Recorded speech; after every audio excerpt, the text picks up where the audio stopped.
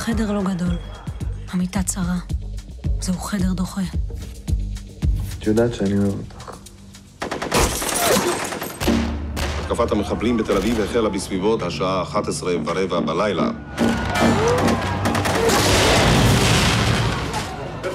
אני חשה רק רצון אחד, להיעלם.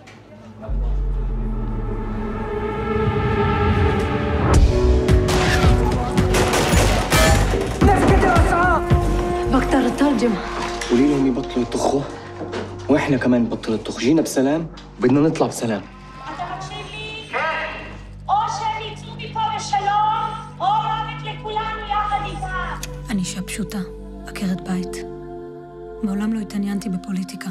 عليني بطلة ولا برا مش من يموت אנחנו מצילים אותו!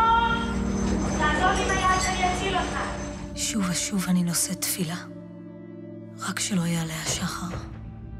רק שלא יעלה השחר.